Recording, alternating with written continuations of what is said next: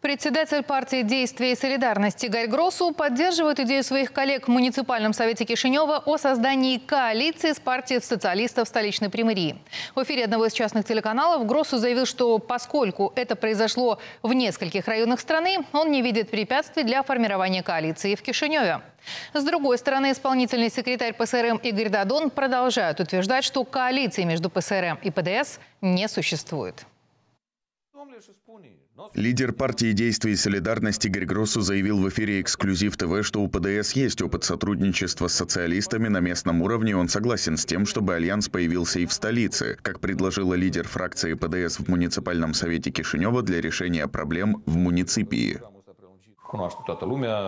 Думаю, всем известно, что в 6-7 районах нам удалось на местном уровне найти общий язык. Я и открыт. Мы открыты к такого рода сотрудничеству на уровне муниципия. Потому что плачут матери, которые и так получают 2000 с чем-то леев, а то и пенсии ни на что не хватает. Бюджет на 2024 год еще не принят, и примария живет по бюджету прошлого года. До принятия нового бюджета давайте пусть его обсудят все советники. Представьте его публично. Давайте мы посмотрим, каковы источники доходов, как реализовать проект проекты и так далее. Мы готовы обсудить и найти решение.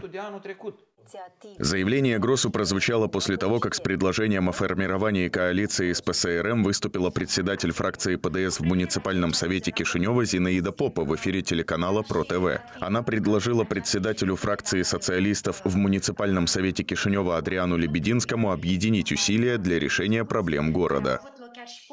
Я призываю открыто, давайте создадим коалицию во имя людей. Вы готовы, господин Лебединский, создать эту коалицию и показать людям, что вместе мы можем решать их проблемы и что были избраны не для того, чтобы объединяться в группировки, исходя из личных интересов, а для людей. Это публичный, открытый призыв к ПСРМ.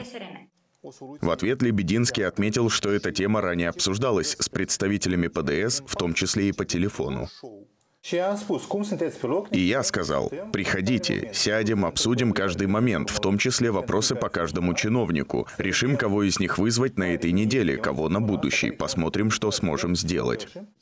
С другой стороны, исполнительный секретарь ПСРМ Игорь Дадон отверг в эфире телеканала Н4 какую-либо возможность альянса с ПДС в муниципальном совете Кишинева. Но ну вам фаче коалиции мы не создадим в Кишиневе коалицию с ПДС. Мы не вступали в коалицию и с Чебаном. С Чебаном были дискуссии. Лично у меня было с ним несколько встреч, в том числе на этой неделе, когда мы обсудили повестку в муниципальном совете Кишинева. На предложение госпожи Зинаиды Попа ответ такой. Мы не связываемся с партией Майи Санду ни в Кишиневе, ни в других районах, тем более в Кишиневе. Поэтому никакой коалиции.